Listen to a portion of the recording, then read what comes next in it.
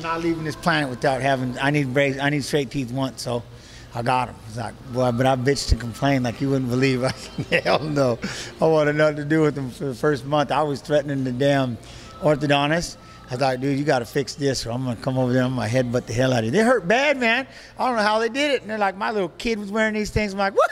Come on, man. I'm like, hey, little kid problems, but I'm having struggles with these things. It was driving me crazy.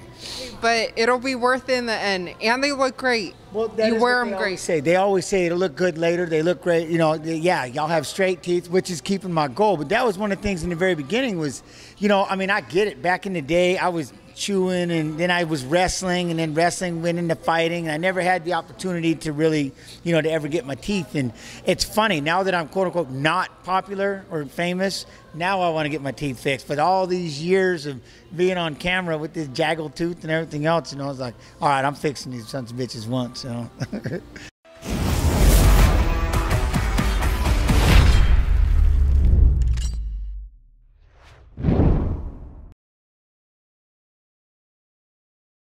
here in Las Vegas, being joined by the one and only, the inaugural UFC lightweight champion, Lil Evil, Mr. Jens Pulver. Always great to see you, and you. like what we talked about, I love the braces. Thank you. Yeah, no, it was it was a promise I made myself, and as much as I tried to avoid it right at the end, I always wanted straight teeth once, man. I had, you know, what I mean, I had to. That's like everybody's got goals, and I'm like, my goal one time, straight teeth. I gotta have it. So here we are. Yes, well, like I said, looks great, and there's so much going on. It is UFC International Fight Week. I know you have a busy week coming up, and you're doing a great job with their Twitch and everything, right? Yeah, no, Twitch has been a lifesaver for me. I, one of the things that when I had to retire, I it was like trying to find worth and value. You know, it was one of the hardest things in the world, and so there for a while, I got away from fighting altogether. I wouldn't watch it. I wanted nothing to do with it. And a friend of mine says, "You know, man, you should you should stream." I'm like, stream? Man, you should get on Twitch and you should stream. It's like, all right. And so I was just playing video games, and one day, and somebody says, hey, I got a fight. Would you watch it? I'm like, what? Yeah, okay. So I, I watched the fight, and then someone else says, hey, there's this Street Beefs. You ever watch that? I'm like, no. So I dive in and start watching Street Beefs, and before you know it, I'm pausing, rewinding, breaking things down. And people are like, could you watch my fight? Could you watch my fight? And I'm like, where would you, where do you normally have a former UFC world champion breaking down your fights for free? You know, and I was like, oh, this is so awesome. And then one day the UFC pops in and says, hey, we're going to start doing a stream. And they're like, uh, do you want to, I did a tryout, right? And uh, they're like, do you think, how many fights can he watch in an hour? And my, my mod, uh, AK Snooze, like, oh, watch him do his thing. And so now all of a sudden I jump on Fight Pass because here we are, twitch.tv slash UFC, and I'm, we're watching fights on, on Fight Pass. And I'm going, oh, I'm doing it. I've been wanting to tell this story forever. So I literally told the story how I created the 155 pound division, how I fought into Bas Rutten, how John Perretti says we want to start this 155 pound division. Next, you know, I did this fight against Alfonso Alcarez, and it was at 170. We agreed to make 155, and I went through the entire lineage of all the fights. And the problem was I kept pausing and talking and rapping with chat and six and a half hours later, I finally got through five fights. So yeah, no, to put to say that I can, I like talking, and I've been working with the UFC ever since. well, you're great at everything, but like you mentioned, the 155 pound division, there's so much going on, and to see where it's at now in 2022, I mean, how would you evaluate just kind of the growth in that whole division? well, just seeing the, how big it is, and to watch them be the main event, to watch them be like I think, I think it's the greatest weight class on the planet, and as the godfather of it, always doing. So we do watch-alongs every Saturday on Twitch.tv slash UFC. I'm doing watch-alongs on Saturday. We'll talk about the schedule, but it's really cool because I'm literally like a proud grandfather. You know what I mean? I'm like the proud godfather, like of a division that I created.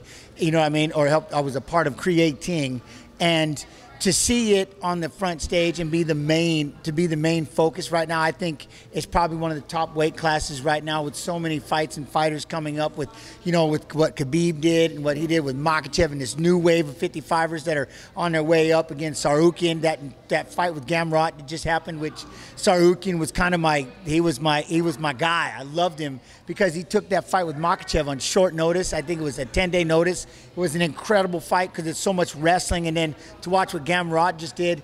Just, every time I see 155 pounds take center stage like it did, it just, I mean, I just get goosebumps because I remember when there wasn't even there, and to know that to sit there and tell that story of literally how I created it in the UFC, it's yeah, man, that's the legacy in itself. Yeah, such an incredible story as well. And who you just mentioned, Khabib, he's going to be inducted into the UFC Hall of Fame this weekend. What do you make of his career and what he's accomplished? I mean, nothing short of, of miraculous. I mean, it's just how where he came from and what he did, but just to not lose. You know what I'm saying? I don't. To come in there and have this kind of a career is short of incredible. You know what I mean? Because we always have bumps and bruises in MMA, especially every day. I mean, it, it, you have to be on on that time, at that moment, at that time in your career. You know what I mean? For 15, 25 minutes, you got to be there. And as big as it's gotten now, with again the magnitude and the mass, you know how big everybody is at 55, but how many fights they have every weekend and stuff like that. It's, you know, it, it's what an incredible career. And when he laid down the gloves, I just it is something. But now to watch him pass that on and, and take on that coaching route and stuff like that, no, Khabib's he's incredible, man. It's yeah, congratulations to him and the Hall of Fame. He deserves it. And looking at the current uncrowned king of the lightweight division, Charles Oliveira, what do you make of kind of his resurgence in that 155 pound division and his run so far? I think the biggest thing about him is never give up no matter what, right? The bumps, the bruises, as long as you're doing what you love and you keep pushing and pushing and pushing, once you find that groove and that niche, that's what's beautiful about this sport. The littlest things make small adjustments, and once you're on that high and how far you can take it, what you can do is like he's just got a whole nother, there's a whole nother level to him now. And he's got that confidence behind him because he literally has that, I'm the champ. And he embraces it and he enjoys it. I know that that weight thing that we had happen there at the end, again, I feel bad. I don't know how that whole deal happened. I'm, I do not really try to dive into the politics side of it all, but to miss it like that was heartbreaking. But for him to go out there and do what he did, anyways, he's he's incredible. And that's what like I would tell anybody: man, if you love this sport and you just keep working, working, working, he is the epitome of it. The guy had so many fights, and for the longest time was just kind of that. You would almost called him a journeyman, and then he just he just clicked and it just made sense to him. And now all of a sudden he's just he's on that he's up at that level that good luck trying to knock him off because he got there the hardest way possible well, a lot of fans want to see him fight Islam. Is that who you think makes sense for him next? You know, and that's the one thing is everybody's kind of climbing, but the, the bad part is we're kind of in that situation where the top three or four they're afraid to fight because they're like, we got a bunch of these killers underneath these youngsters, but I want that shot at that title because if I fight for that title, it's a different style of money. It's a different, you know what I mean? And so they're kind of holding on, right? So again, props to everybody that's giving these youngsters the the opportunity to fight. And it, do I believe Makhachev deserves it? 100%. He's insane. I mean, the kid is incredible. I don't know who else wants to fight him. And that's why I'm saying you should let him do it, is because he he is willing to fight anybody and he wants to fight right here right now. He wants to be busy. He wants to you know what i mean? And that's it makes sense to me. I think it'd be an incredible fight. So but i get it right? Number two and number three sometimes they like what about my turn? But hey if they're not willing to give those younger guys who gives them the opportunity right? And so if he can get it more power to him. I hope he gets it. And if it is charles versus islam how do you see that fight playing out? Oh i as a wrestler you know, as a wrestler first, I think the biggest thing about it is I just see Makhachev being too much because what will happen is, and I believe he has said it, I will go after him on the ground. I will go right after, and he's got the most submissions in the weight class. He's, you know, Oliveira's got, I mean, again, he has the most submissions. He's incredible. And that's the one thing is Makhachev will go right at him. So we're going to see a ground war. But every time we think we're going to see a ground war, ends up being a stand-up battle. So, you know, but that's one thing. I like his striking. I like his conditioning. And I can honestly see, you know, I'm excited to see this happen. If, oh, I can't – can Makhachev get submitted? I don't know, but can Makhachev run over the top of him? I can see it, but I don't want to go against Oliveira because he's deserved it and he's earned it and he's such a badass. But it's so to me, because I know I'll be on the stream and I know we'll be breaking the fights down and I know we'll be talking about it.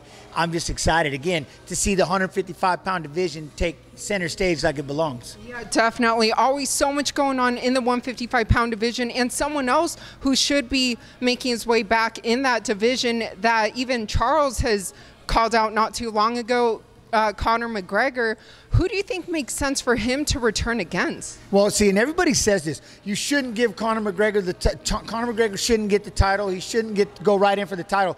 But what's funny is, and this is what I tell everybody on the stream: I'm like, think about this. You have the champions calling out Conor McGregor. You got them defending their belt and they're calling Conor McGregor. So he deserves to be sitting where everybody wants him. They all want to fight him. So, yes, I kind of get it in the aspect that, hey, what about get in line? Hey, what about this? But he has literally put himself in a place where, again, even the champions are calling him out. So he, he does, does he deserve a title shot right off the bat? Yes. Because why? Because he has put himself in a place that nobody else has even come close to even venturing. And when you have world champions literally calling him out, then he should be fighting for the title.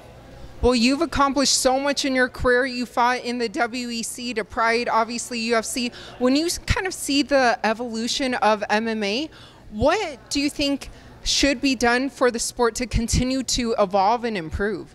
You know, I think like anything, we need to figure out an amateur a, a, legit amateur. And I've been, I always, again, I'm going to bring up the stream a thousand times, but on the stream, we're always talking because that's where I'm always, I'm just, I'm 100% UFC, right? I'm on, obviously, the UFC stream, and I'm always talking about fighting. We're always talking, I think a legitimate amateur, something where we can do every weekend. And I talk about it. I'll give you the idea right now. It's sick, but no, it really is. It's sick, but I don't want to talk too much. But what I want to do is I want to create something that will help gyms grow. I want to help the sport grow. And if you put together, even people that had to quote unquote retire, they can still fight. If we change up the rules and we create this dual team aspect, like in wrestling, where we'd have dual matches, where you would have two at each weight class, you have challenge matches, you build your team and you start traveling, then like let's I always use this, let's say alpha male and, and let's say I was coaching and Urijah Faber had a team. So we would meet up and we'd have our duel and then you could do that around again in the community. It would be worth having a gym. Hey, we're going to develop a travel team. We're going to develop an MMA team. With these rules, you can fight every you can fight every weekend. It's like you, you got to make small adjustments. I'm down with no submissions on the ground, so you can wear shin pads and knee pads, elbow pads, standing up where you're boxing with takedowns, and it's all about movement, right? Like in amateur boxing, it's all about throwing straight punches to the headgear. Knockouts mean nothing. Body shots mean nothing. If you want to go pro, go pro. But what this does, it allows them to fight every weekend. And so now imagine what it can do for a gym. They're building their team which helps build their community. And then we're out there now. Imagine like a state championship or something where my team goes against their team. We have these dual matches like in wrestling, and then we have our first ever state tournament. Then we have a region tournament, and before you know it, we've got our first ever national tournament. But that could do something where even kids younger, because they can wear a, a modified headgear and stuff like that. If you take away the guillotine, you can wear headgear. If you take away certain things, you got those puffy eight ounce gloves. So we just take away certain submissions. If you want those, go pro. But I think those are kind kind of the issues that we're looking at, right? UFC has done a phenomenal job of creating, their, of building their platform. These other MMA organizations building their platform, but at the bottom, the amateur aspect, it still needs a hug. MMA needs a hug, especially the gyms and stuff like that. So I think this would be a great way to do it. But also another idea that some fighters are kind of thrown out there is open scoring. Do you think that should be implemented in the UFC? I, I, I, say it every day. And I know there are some that are against it, but what I, I think we should see the scoring. What's happening right now with the judging is it's mind blowing. And we always laugh because there's always going to be that 30 27. No matter what, you're going to go split. There's always going to be that 30 27.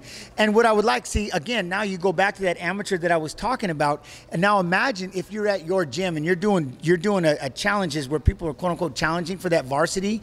And what you can do is you start having these matches. Bring me your judges, bring me your referees let them ref, let them judge. Let me ask them, why did you score like that? Accountability. The fact that we are one of the only sports where you don't know the score, and the other thing is you don't deal with like we get paid, we get paid half. So it, that judging is everything to us. We, we, you know, what I mean, we get a split when we set up. We get the show, and then you have to win to get the, get the second half of that money. There's no guaranteed purse. You really cost some of these kids a lot when you do this. And I would like some kind of accountability. And I know some people are like, yeah, but what happens if he's ahead in the third round and he tries to coast? What's the other kid going to do knowing he's behind? Just fold, call it a day, or is he going to pick it up and go after him? I mean, you just make this assumption. Oh, I'm down two rounds. I'm just going to I'm just going to quit. What happens when you're down two rounds in wrestling? Wrestling, and you get out there in the third. You go after it? You try to win? Of course you do. But you know where you stand because it's been getting, it's really been getting heartbreaking here at the end watching some of these judges. I just can't, it's mind blowing. You know what I mean? So I don't know the ultimate, the ultimate scoring, you know what I mean, the ultimate fix, but I think open scoring where we can see them, I like the idea of the accountability where you could literally be throwing, popping, hey, yo, what the, you know, in between rounds, what are you looking at? You know, so the crowd gets behind it. But they should have to deal with this because what they do is so much, it's got such a huge impact on the fight afterwards. Again, with their person, do they get to advance to the next, their next pay cut and, you know, I mean, and stuff like that. It's, it has everything to it. And they, they, they just have no accountability. Well, you. So. Oh no, don't ever be sorry, but you bring up such great points and I love your passion. But for all your fans who can't wait to see more of you and even the ones in Vegas this week, where can they find you? You know, the biggest thing is, and I know we'll start streaming again, but you can always see me 6 p.m. Eastern, Monday, Wednesday, Friday, and watch alongs on Saturday. Twitch TV slash UFC or twitch.com slash UFC. You can check me every day. Just talking about fights. So what we do normally is on Mondays we recap the fights um, with highlights and clips, and we usually do one or two fight interviews. Wednesday we call it WEC Wednesday, so we're showing old school WEC, and then we go off and start watching a bunch of fights. Friday we're watching fights of fighters fighting, and Saturday's fights. And then Saturday I'm doing a watch along. If it's a pay per view, we usually have guests that do the watch along with me.